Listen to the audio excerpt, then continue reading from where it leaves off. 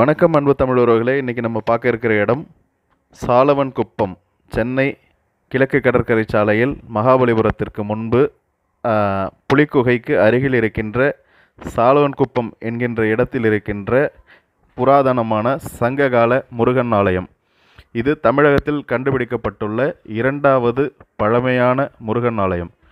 இது இரண்டாயிரத்தி நாலு சுனாமியின் போது வெளிப்பட்ட ஒரு பாறையில் இருந்த கல்வெட்டுக்களை கொண்டு இந்த இடத்தை அகழ்வாராய்ந்து பார்த்தபோது எட்டாவது நூற்றாண்டில் நரசிம்ம பல்லவனால் கட்டப்பட்ட ஆலயத்தை கண்டுபிடித்தார்கள். அதற்கு மேலே அவங்க வந்து மறுபடியும் அகழ்வாராயும் பொழுது தான் இது சங்க காலத்தில் செங்கல்களால் கட்டப்பட்ட அடித்தளத்தின் மீது பாறை அதாவது கருங்கல்லால் எட்டாம் நூற்றாண்டில் இந்த ஆலயத்தை நரசிம்ம பல்லவன் கட்டியதை கண்டுபிடித்தார்கள்.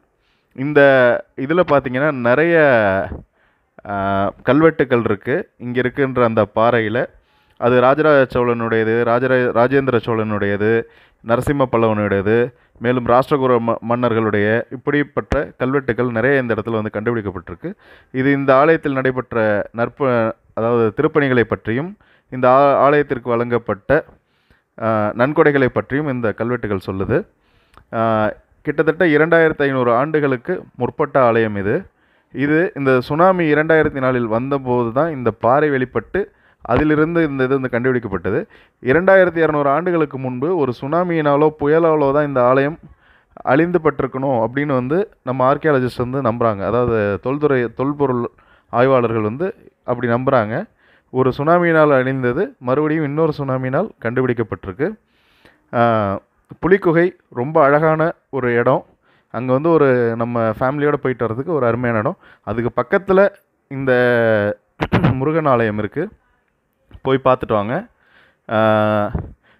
இது பாதுகாக்கப்பட்ட புராதன சின்னம். அந்த இடத்த நம்ம பாதுகாக்க வேண்டிய கடமை நமக்கும் இருக்குது சுற்றி கம்பி வேலி அமைச்சிருக்காங்க. அந்த கம்பி வேலியெல்லாம் தாண்டி போகாதீங்க.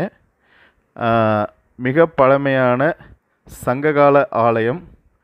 அதுவும் நம்முடைய தமிழ் கடவுளாகிய முருகனுடைய ஆலயம். உங்களுடைய பார்வைக்காக வழங்கியிருக்கோம். தொடர்ந்து நம்ம சேனலுக்கு ஆதரவு வழங்குங்க. இந்த வீடியோவை லைக் பண்ணுங்கள் ஷேர் பண்ணுங்கள் நம்ம சேனலுக்கு மறக்காமல் சப்ஸ்கிரைப் பண்ணுங்கள் அந்த பெல் பட்டனை அழுத்துங்க. இதுவரை நம்ம சேனலை சப்ஸ்கிரைப் பண்ண அனைவருக்கும் என் இதயம் கணிந்த நன்றியை நான் தெரிவிக்க கடமைப்பட்டிருக்கேன். உங்களுடைய ஆதரவு எங்களை மேலும் மேலும் ஊக்கப்படுத்துது. நன்றி வணக்கம். சிறப்புற வாழ்வும் சேனலை சப்ஸ்கிரைப் பண்ணுங்கள் நன்றி வணக்கம்.